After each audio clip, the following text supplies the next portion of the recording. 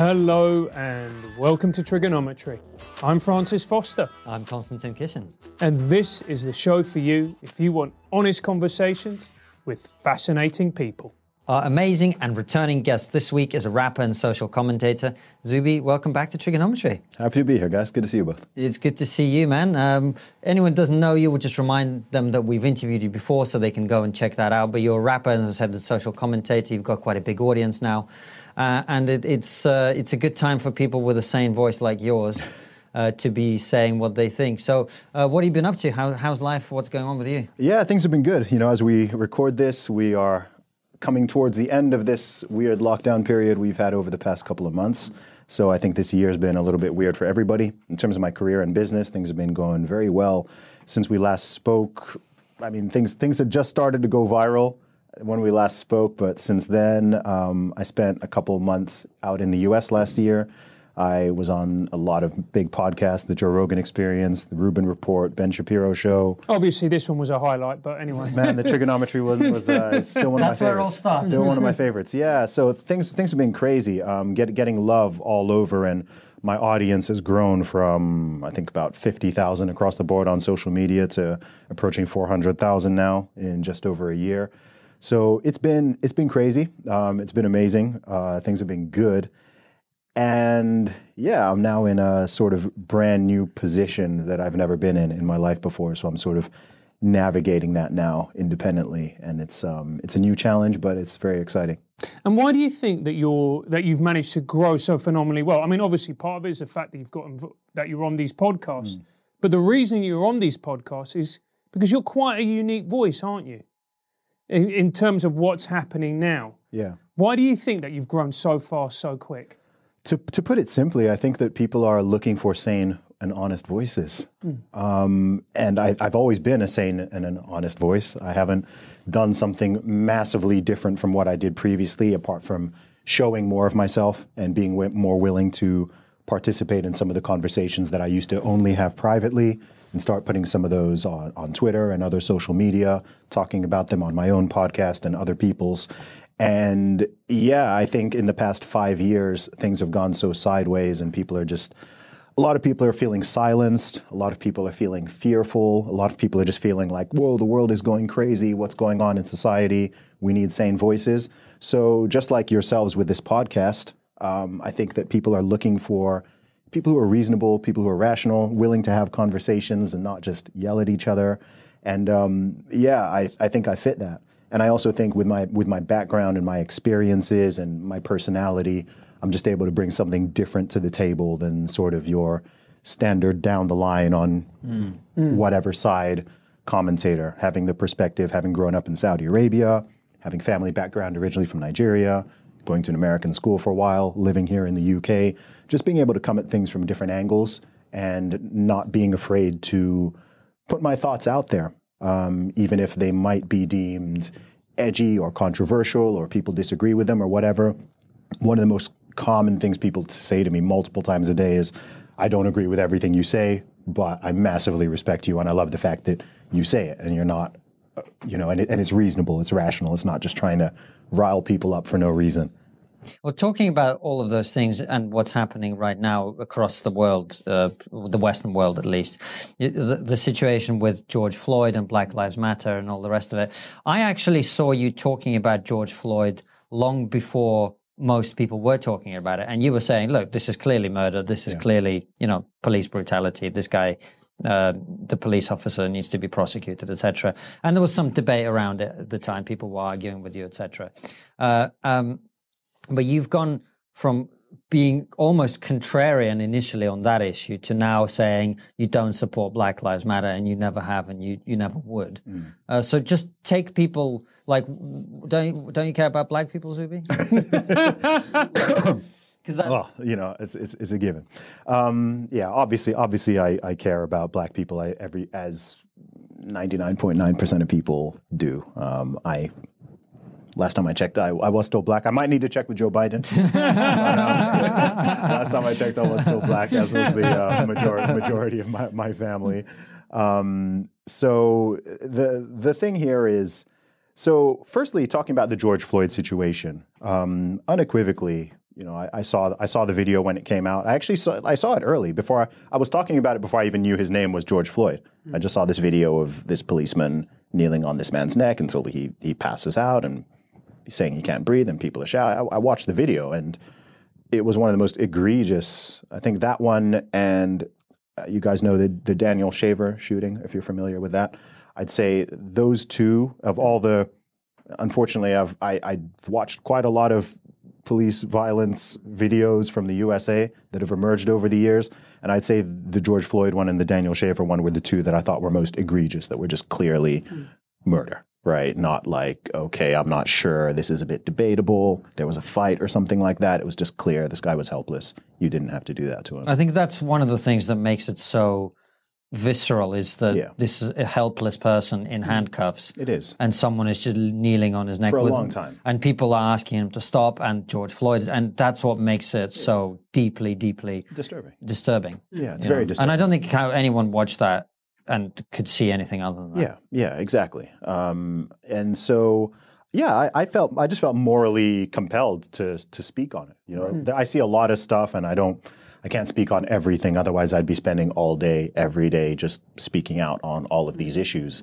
Um, but this one was particularly egregious, and I thought it was important to actually amplify it and Right. let more people know. Hey, have you guys seen what has happened here? Um, and I did a U- YouTube video on it. I just made a 16 minute video, which I think over 50,000 people have watched now. Um, it's just called George Floyd was, was murdered. I just sh- shared my view on it. Um, and then, uh, so so coming around to uh, what you were what you're asking about more recently is um, in regards to the, to the Black Lives Matter thing. So there's, I, re- I mean, I know why they've called themselves Black Lives Matter because it's uh, the the name is incredibly powerful, right? Because no one disagrees with the statement, no one disagrees with the, the the slogan itself. However, Black Lives Matter (BLM) is an organization, um, and some people may not know this. There's a difference between BLM, Black Lives Matter, the the organization, and the different chapters that they have, and someone just saying the sentence or the slogan Black Lives Matter, or perhaps putting it on a sign without necessarily representing the organization. So, in hindsight, I clearly could have worded the tweet that I put out there more carefully. I did clarify it in a second one, um, but I was saying that the the organization itself is not what it says on the tin, right? It's not simply, okay, we are trying to save black lives or we are working against injustices or, you know, racial inequities, any, anything like that.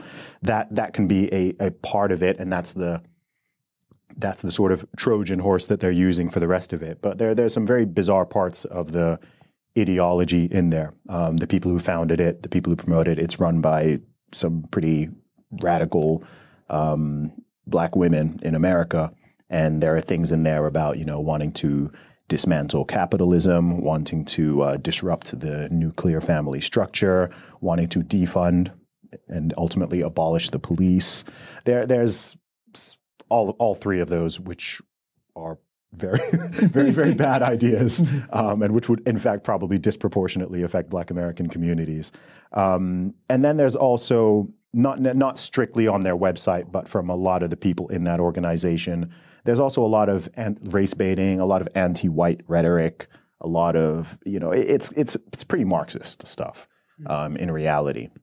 And what they've done is they've sort of taken that ideology and those views and called themselves a title that no one can argue with. So if you criticize Black Lives Matter, people are like, "Oh my gosh!" But it's called Black Lives Matter. You know, it would be like, I don't know. If I ever created a terrorist organization, I'd call it the, you know, peace, love, and harmony or something. 'cause Don't don't kick don't kick puppies. don't kick pup- yeah, exactly. Yeah, and it's um. I mean, I, I see- I see straight through stuff like that, and I think as someone who does and who looks into these things in detail, I can miscommunicate with people because I almost assume accidentally that other people kind of have my eye and my brain to see through the matrix a little bit and go beyond what the slogan is and see what's going on behind here because I think it's I think it's quite in- insidious. Um, so that was the reason for that comment. Um, most people got it, actually. I mean, the majority of people who saw it, I believe, understood it, but a lot of people definitely did not. got you know some blowback from places, including you know places a, a little bit close to me, which I wasn't expecting because I didn't I didn't expect millions of people to even see the tweet. Um, but yeah, I mean, in terms of what I was getting at, I know I know why I said it. I probably would have, to be honest, I wouldn't have tweeted it. I probably would have done like a whole video on it. You know, do a thirty minute video explaining my position.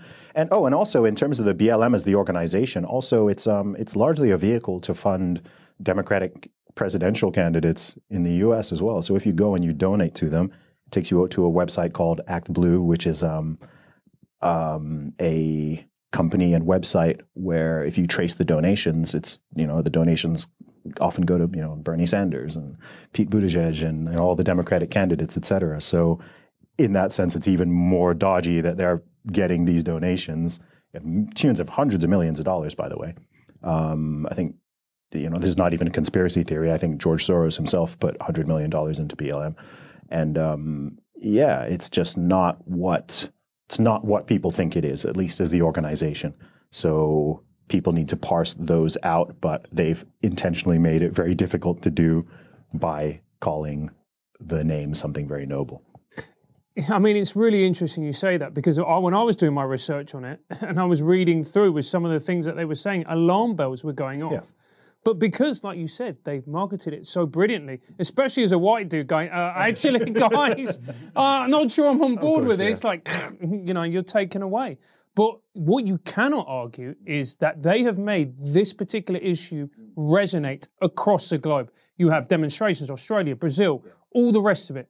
How have they been able to do that so brilliantly? Wow. Well, they have got a lot of funding. They've got hundreds of millions of dollars in funding. Um, so they've got they've got a very big megaphone, and I, I think I don't think we can underestimate the power of slogans. Slogans are this is something I've kind of I've always known that slogans are important, but in the past few months, I'm kind of like, wow, people really hmm. like no one was talking defund the police two weeks ago. Now defund the police is like a it's like a catchphrase. Really, defund the police, defund. I'm, it, and it's just weird how people. What, what what did I say the other day? How did I word it? Something like human beings are herd animals who believe we are individual hmm. individualists, which is really the case. You know, I think that the vast majority of people, all of us to some degree, have have some element of herd mentality, but I think that the people who sort of stand outside of that and don't kind of just get swept up in the wave of it, which I think believe in, includes everybody here, we're actually the minority. You know that that's something I've really learned. It's it's a it's a minority position, um, and so yeah, I think the slogans have been super duper powerful. And I think you know th- there is there's no question that there is an element of good in what they're promoting. Of course, it's called Black Lives Matter, right? It can't it can't all be bad. Of course not. Um, there are it's it's it's extremely opportunistic because they they seem to pop up every every election year. You know, 2016 gets big. You know, 2020 gets big. And one of my biggest criticisms of the movement of BLM is the fact that they focus on 0.001 percent of Black lives. So it's funny because someone, if I criticize BLM, someone will try to suggest that either I'm racist or I'm caping for racist or something. And one of my biggest criticisms of them is why do you only care about black lives when they are killed by a white police officer in dubious circumstances? Right? If the movement is going to be called Black Lives Matter, why why is all the focus on the 0.001 percent of black people who are killed in a very certain specific way at a specific time by a specific type of person, right? Why can't we talk about the wider issue, right? Why aren't we talking about hom- homicide is the biggest killer of black American males who are under 40, I believe, right? And that that's that's only true for that demographic, right? Homicide is the biggest killer. So what can we can we have a conversation about that? Like, can we can we if it's Black Lives Matter, can we can we talk about that whole thing? Can we talk about even nutrition and diet and people dying of heart disease and diabetes? Like, can't why why can't we talk about the whole thing? Why are we only talking about it in these very very specific scenarios? I also think that if you wanted to solve the police brutality issue and you wanted to stop these unjust police killings, and I differ from a lot of people on this one. I've spoken with friends, family about this, and I don't think everybody understands or agrees with my position on this, but I think you need to widen the scope, mm-hmm. right? Some people say, okay, they want to do Black Lives Matter because they want to focus on that specific demographic first. But it's like, look, the majority of people killed by police in the US are not black, right? And people will say, yeah, but it's disproportionate to the population. But I'm like, yes, but overall, only 25 to 30% of these police killings are black victims. So this is clearly not just, sure, there can be a racial bias problem here, hmm. but it's clearly not just this narrative of the police are riding around in the USA hunting down, lynching black people, like some people are trying to say, you know, you can't go outside your house without fearing for your life, all that really hyperbolic emotional stuff, which I'm, I'm no fan of because I think it distorts it and it prevents people from finding actual, actual solutions. I, I, I'm keen for, I would, I'm not an American, but I would love for them to find a solution to this problem.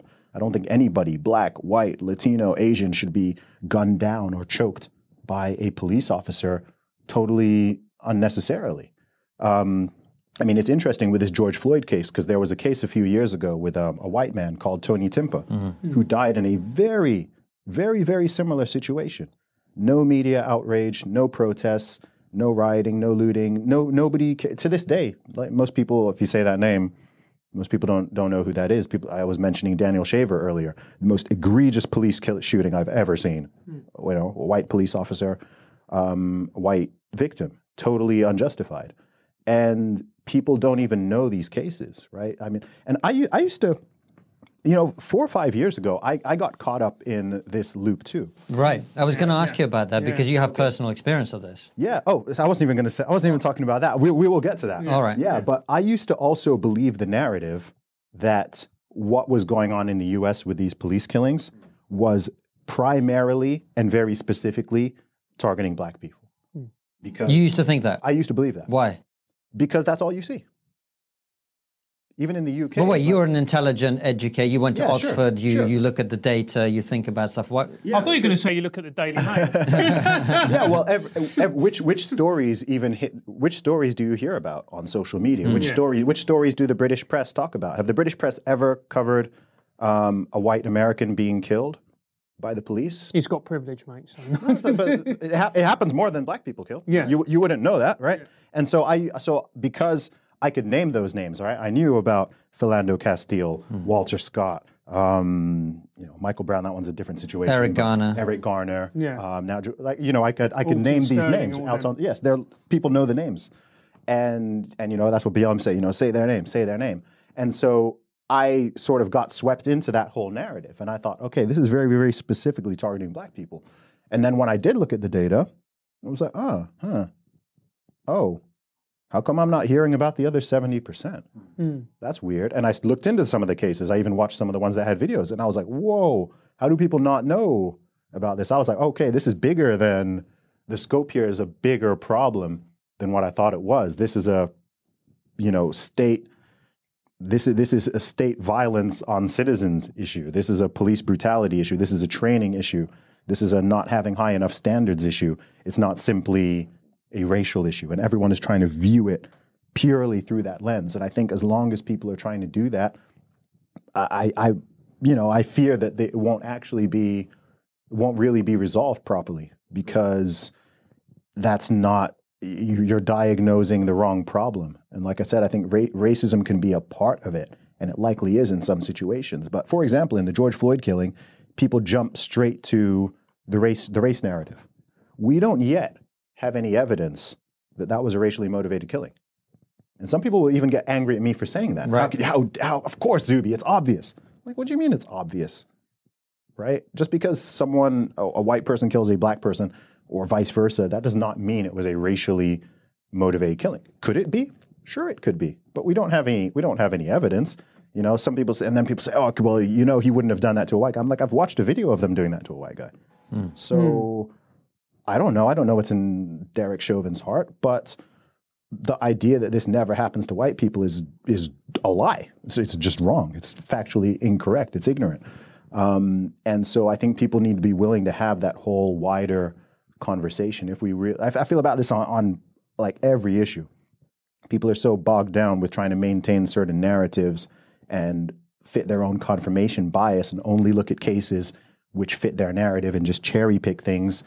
And it makes people feel good and it makes people feel like they're righteous and they can shout at other people who don't want to do the same. But fundamentally, I'm just like, man, we can't have such a myopic view mm. on these issues if we actually do want to if we do want to resolve them we've got to be able to talk about the whole picture and speak about this honestly and what do you think that this this particular incident what do you think the impact it's had on society do you think it's Ooh. been I mean, it must have had some positive impacts. Like, mm. for hmm. instance, one of my, one of our friends, he talked about what it was like growing up and being yeah. black in South London, sharing his experiences. That was really rewarding. Yeah. You go, oh, I get it, I understand a little bit mm. more. But there's also been some negative things as well, I imagine. Yeah, definitely. I think, yeah, with, the problem with society right now is that uh, I call it emotional incontinence, mm. right? P- like emotions just spray and fly out everywhere in all these directions. And we're really prone to overcorrections and overreactions, mm.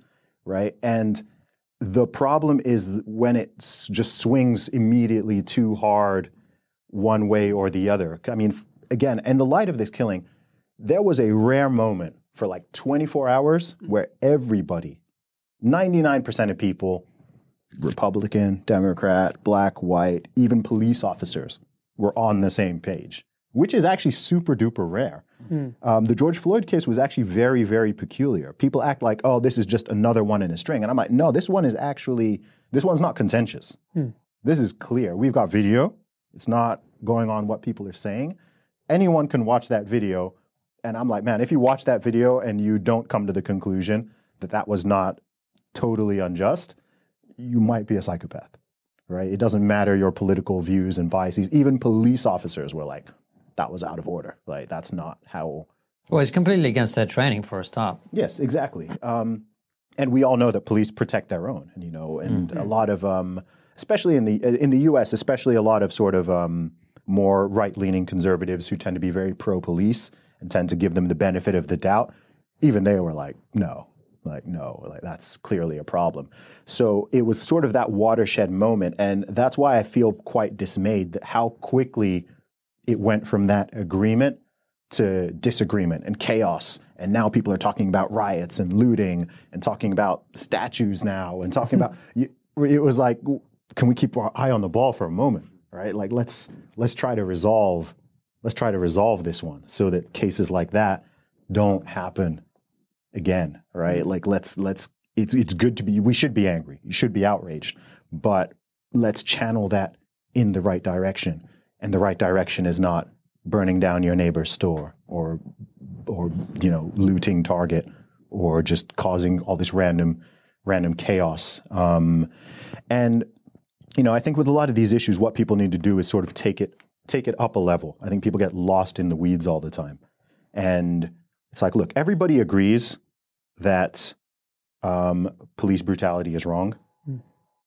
Everybody agrees that racism is wrong.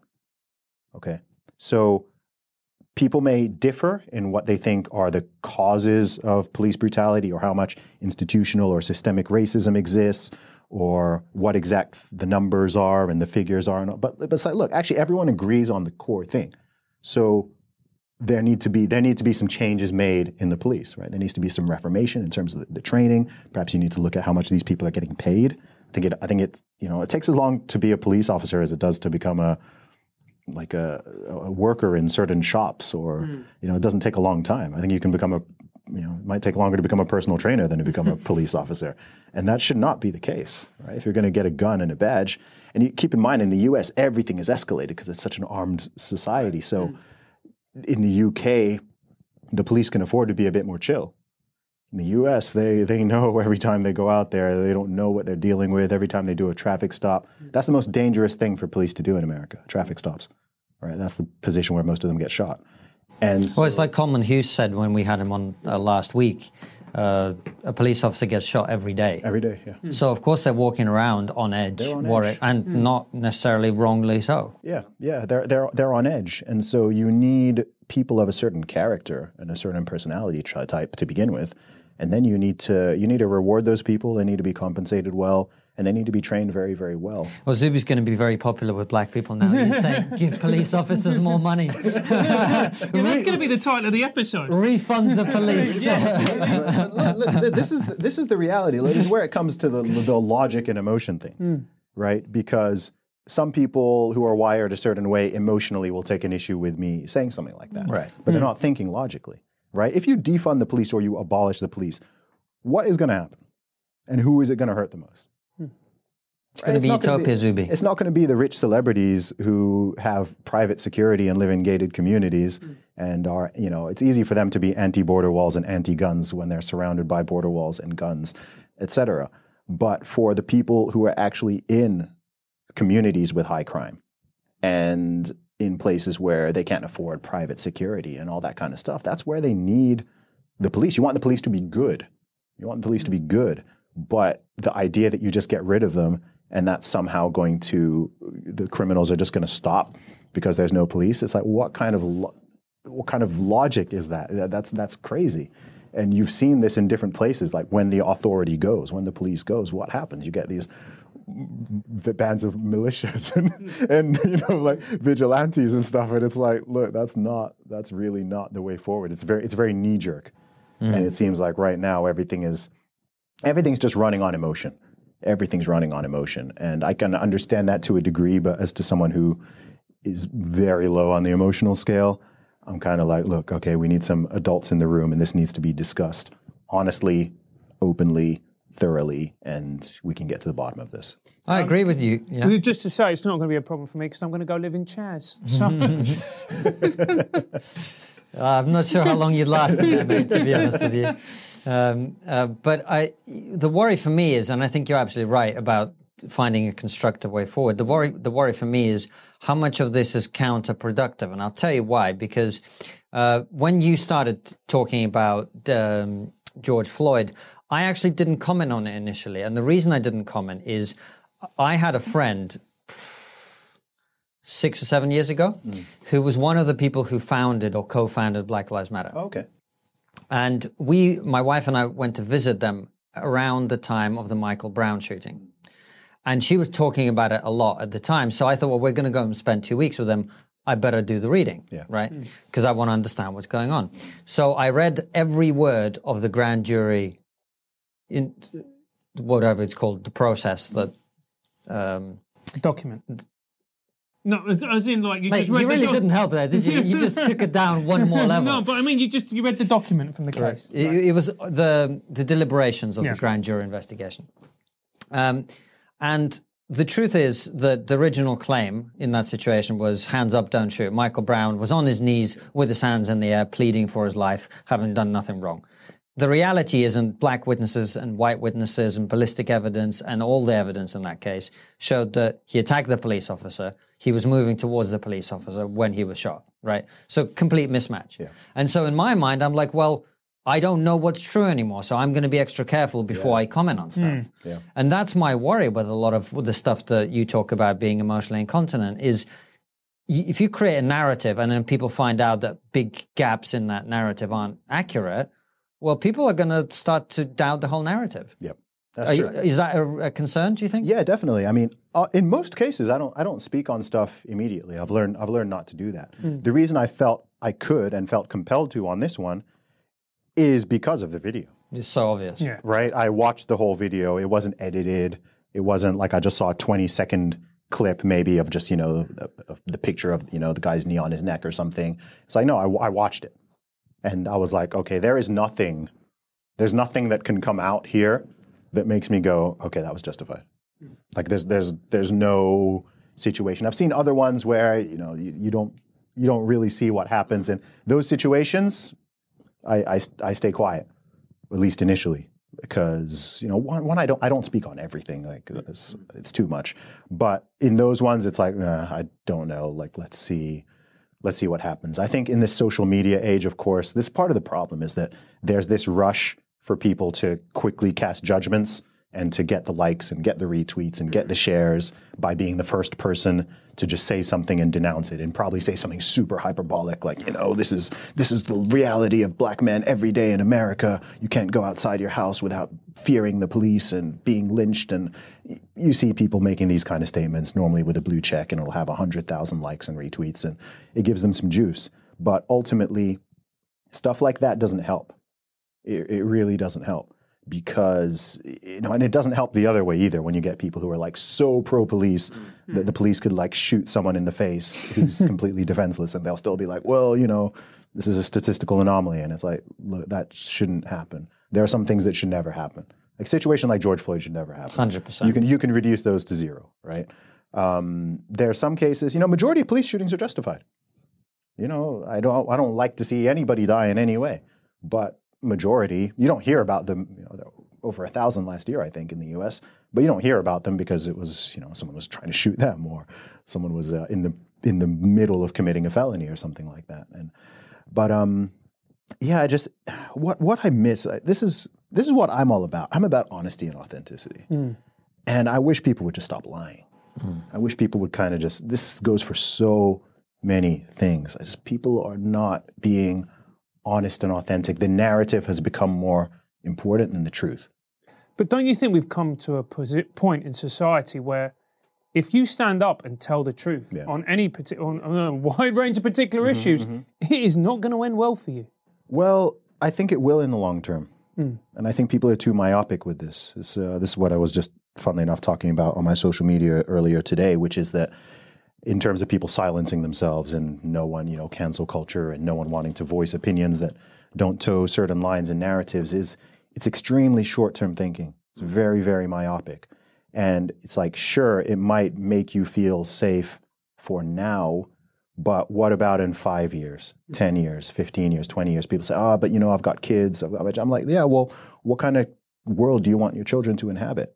What kind of society and culture do you want them to grow up in? Do you want your children not to be able to express any view or anything in 20 years because we've become so rigid and we've literally got the thought police out there and no one can do anything. No, it's supposed to be a free country. And if you're in a free country that's supposed to have freedom of speech, then people need to exercise that. It can't it can't be taken can't be taken for granted. So yeah, sure, you might have to deal with a couple of mobs or I say mobs. I'm not, I'm not even talking a real mob. I'm not talking about people coming with pitchforks and burning down your house like that Unless you're Dominic Cummings. you know, you know, like that. That's pretty rare. It's normally like an online thing, and it's very temporary. Um, I'm sure you, you, you guys have, have, have faced this before, and yeah, you might get some level of uh, professional criticism, or you know, things even in your own family or amongst your friendship. We might cause certain rifts and things like that. But ultimately, ho- honesty is truly the best policy in the long in the long run. If you look at it, most people, I think, who have been stood by honesty and stood by authenticity and told the truth, whether that's uh, you know a huge range of podcasters, whether that's um, you know myself, whether that's you know the Jordan Petersons of the world, right? They just stood on their principles. Same with us. And- but but there's a privilege there, and it's not white or black. It's a, it's a self-employed privilege, isn't Well- there? Because if you work for an institution, uh, or you you're, you're, you you stock the shelves in Asda. There was a guy who got fired from his job in Asda. He she, he shared a comedy routine from Billy Connolly about religion. Sure. right? He got fired. Okay. Um, I think the reason a lot of people are scared is they're scared that they're going to lose their source of income because they're going to get fired. And people are getting fired left, right, and center over this current discussion. Sure. So, what do you say to those people? I'd say it's temporary. And I'd say to the people who are not fired, I'd say to everybody else, to society as a whole, we need to stick up for each other. People need to stick up for their friends, for their colleagues, etc. If you work in a business and you know one of your colleagues is under pressure for liking a tweet or sharing a joke or something, you know, something silly. I'm not talking about something super egregious. Um, then people as a whole, rather than letting that person, you know, proverbially proverbially catch the bullet, they need to surround that person and support them and say no. Like talk back to their company because you know companies are run. Companies are just groups of people, right? And they're trying to protect their bottom line, but everything is rooted in cowardice. It's all cowardice. Hmm. It's, it's just collective cowardice. It just takes people collectively to go. You look enough of this. This cancel culture stuff. Like stop. Like we're not we're not having this, right? You you can't just deplatform people and fire people and keep you know for having basic because they voted for Brexit because they support this because they don't support that, et cetera. It's like that's not That's not what this society is supposed to be like. And it's important for people to not be passive and to actively push back against that and not just ex- expect people like myself, people like yourself, people, certain people to sort of carry that entire burden and to do the whole thing for them because you, you can't you can't outsource all, all, all elements of courage, you know. And sure, in the short term, the boat might rock a little bit. I don't, don't doubt that. I don't question that. Right? This guy who works in ASDA stacking shelves, you know, in the short term, okay, that kind of sucks, you know. But it, firstly, I think he that wouldn't happen if his colleagues backed him up, right? If people en masse backed him up, I, I think that wouldn't happen to begin with.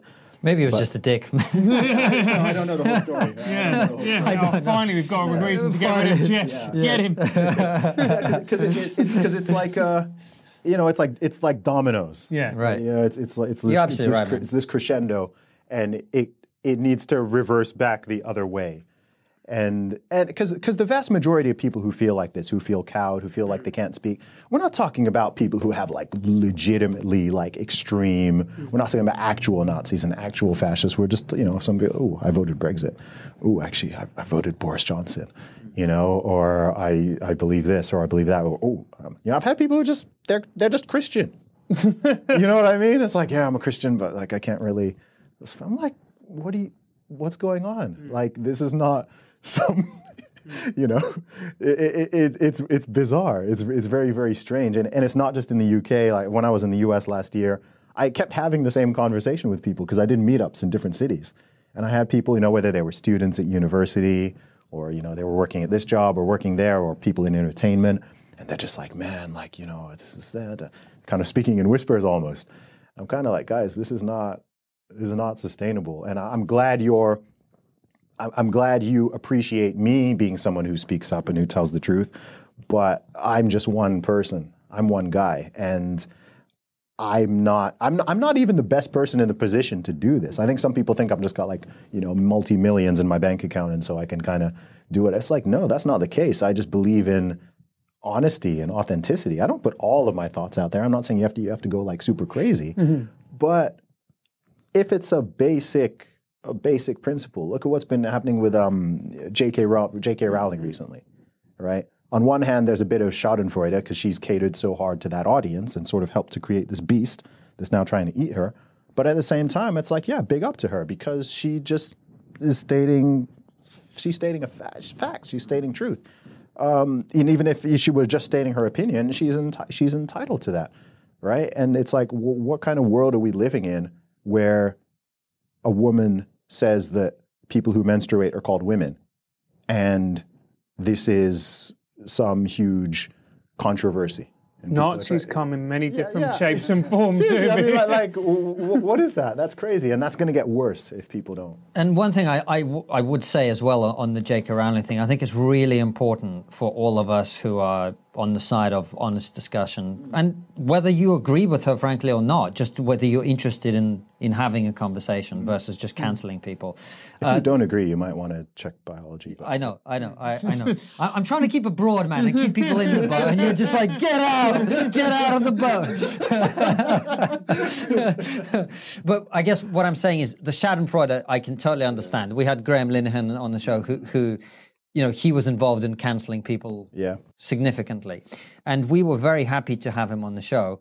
And J.K. Rowling, the same. We, we're, we're trying to get her on as well Okay, cool. because when people let go of that mentality, we have to welcome them in and we have to mm, say, You've let go of that, you're welcome. Yeah, yeah. We welcome you. You're not out in, in the desert because of your past behavior. Mm-hmm. You, you fucked up in the past. You did. You made mistakes. But now you get to come back into civil society and have a conversation with people. And I think that's really important. That forgiveness that we always talk about. Yeah. I know you're big on it. We're big on it. We actually have to practice it as well. yeah, definitely. Yeah, I'm, I'm, I'm with you 100 percent on that. And um, and just be, it, it's funny. It's like, uh, in some ways, it feels like being liberal has become a conservative position. Dave, yeah, thank- Yeah, and and it, it's odd. I mean, there are people who call themselves liberal, and you know, that's how they identify. Hmm. And I'm like, I am more liberal than you, in terms of actually like upholding the value. What are classically liberal things? Freedom of speech, ability of people to to dissent, to meet and talk to who they want. to not be sort of ostracized permanently for their views or their opinions, all, all this kind of stuff. Like there's tons of stuff in the world I do not agree with. there's a lot of stuff I do not agree with. But people have a right to their views, they have a right to their opinions. I would never try to deplatform someone off of social media or come for their job or try to cut out their sponsor because they said something in a podcast I disagree. Like that's crazy. Hmm. That, that, how can you how can you support anything along those lines and consider yourself liberal? I mean, that's it, it's it's it's bonkers and people are waking up to this. Like I said, people are waking up. I just think that collectively, and I do try to give people courage mm. and encourage people in different ways to just be like, hey, you know, whatever situation you're in, if you're in school, if you're at university, mm. if you're you know in your workplace, just online, etc. Just be willing to, to, you know, if you even if I don't agree with your all of your principles or values, right? Just you have a right to them, and that's okay to to express them. And I'm, I'm on your side. I'm on the side of anyone who can agree to that basic tenet. Um, it, it's it's really that simple. But Zuby, you were talking about cowardice, and, and there's something I want to focus on in particular because I don't think it's just the cowardice of individuals. I also think it's cowardice of the press.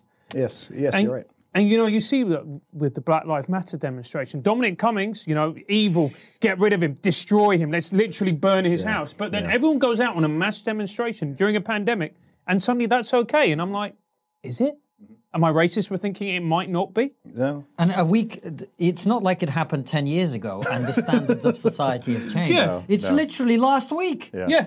Yeah, I mean, just yesterday, I don't know, I can't remember what was it NBC. It was one of the U.S. newspapers' Twitter, and an hour before they were um, talking in happy terms about thousands of people gathering for Black Trans Lives Matter um, rally and demonstration. Thousands of people, you know, could see the pictures. And then an hour later, the same account tweeted um, condemning the fact that Trump was going to restart his rallies and that um, health experts are saying that this is a terrible idea. Within an hour, the same account, and you're just like, "Come on, dude, come on," you know. And it's just, like, you're you're you're totally right. When I when I'm talking about cowardice and I'm talking about honesty and I'm talking about authenticity, I'm speaking across the board. I'm talking to individuals. I'm talking to the media. I'm talking to corporations. I'm talking to world leaders.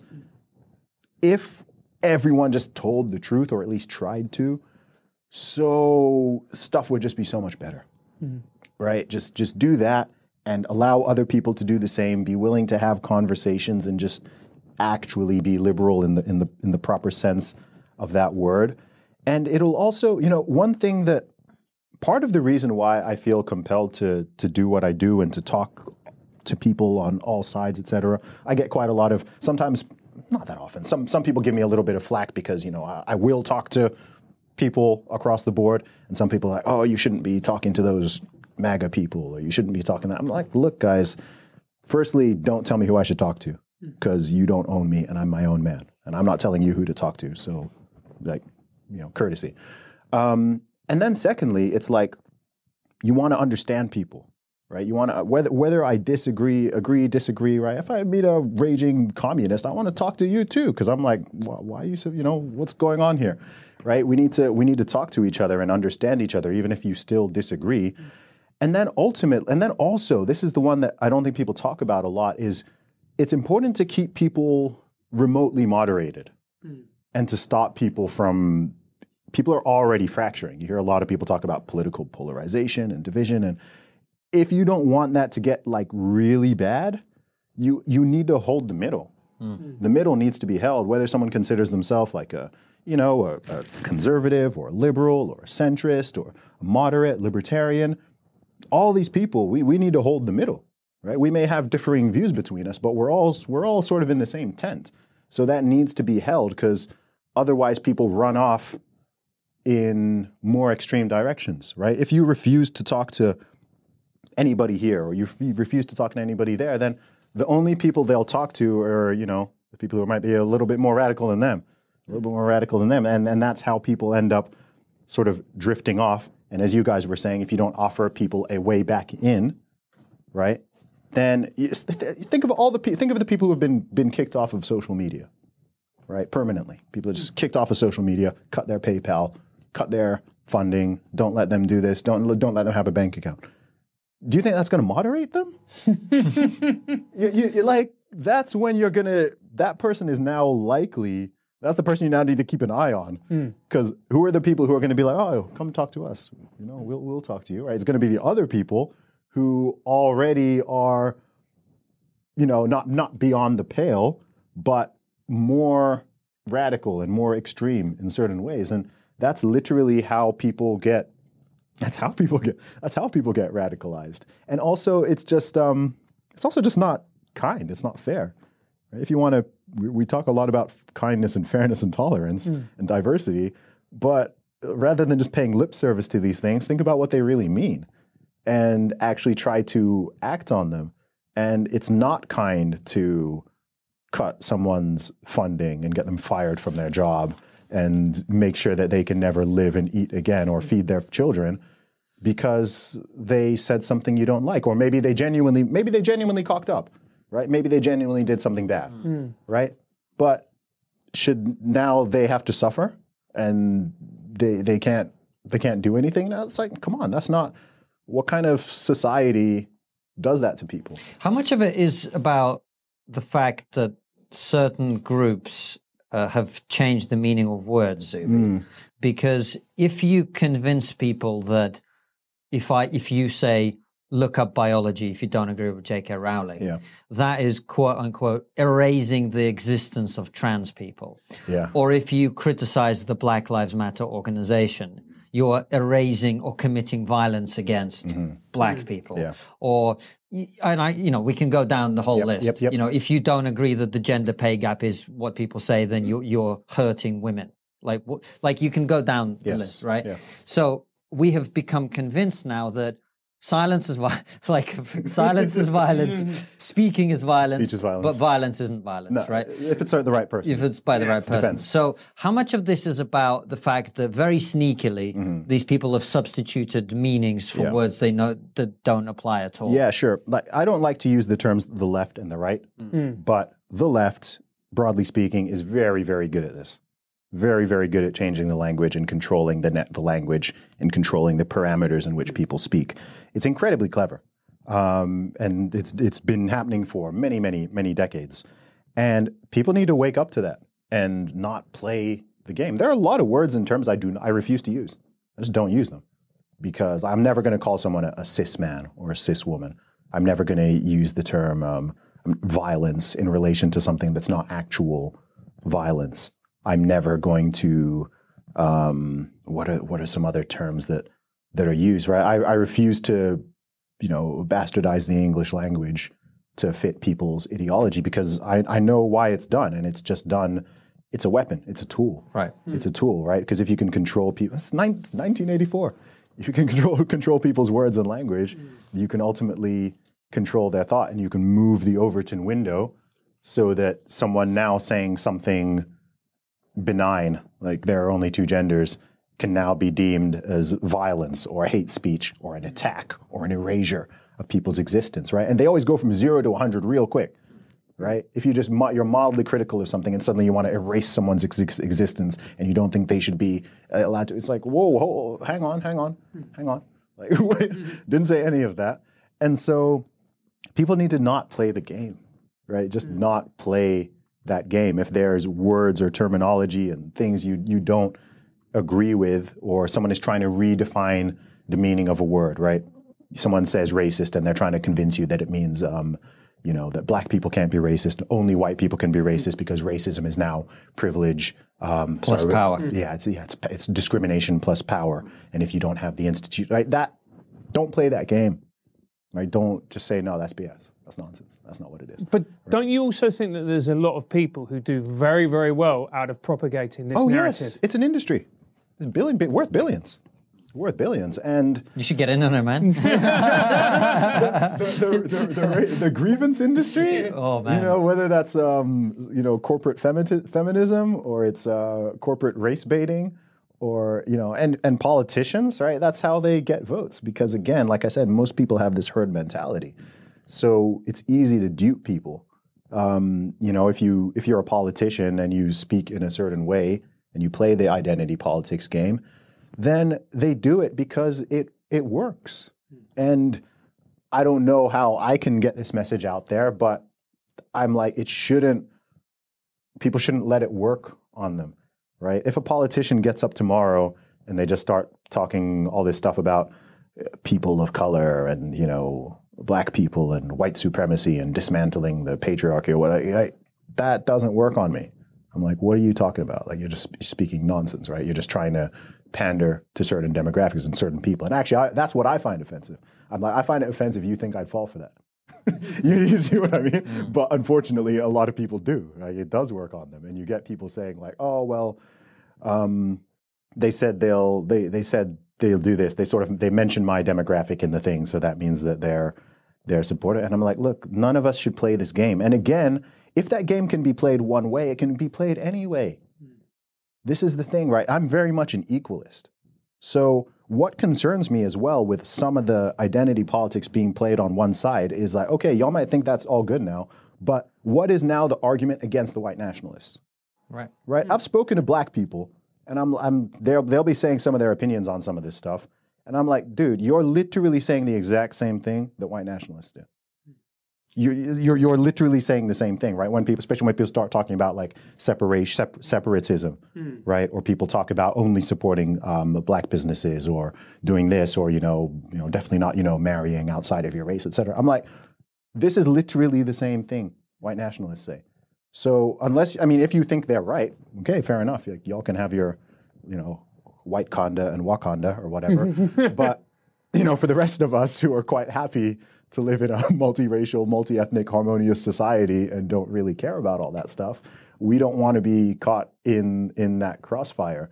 And it, I, I, I think that's the thing. You know, every action has an equal and opposite reaction. So if people are going to get like super duper on the say say the black identity train and bandwagon, you then don't have you can't really say anything if a fringe group of say white people went off and you know, wanted to form their own white identity, white power movement. Because, you know, you, without being a hypocrite, you then can't criticize, right? If they're like, well, they're that's not a problem yeah. for these people. Yeah, but it's like, well, they're saying black power. They're saying only buy from black businesses. They're saying, you know, don't intermarry, etc. You know, that's that's what they're saying, and it can't be like, oh, well, that one's bad and that one's okay, because it, it all falls apart. So again, I think people need to think people need to think more deeply about this stuff. Brother, I agree with you, but that's why I'm not optimistic about what's happening mm. right now because I just I, that's what I see coming. Yeah. Do you, do you think that's coming?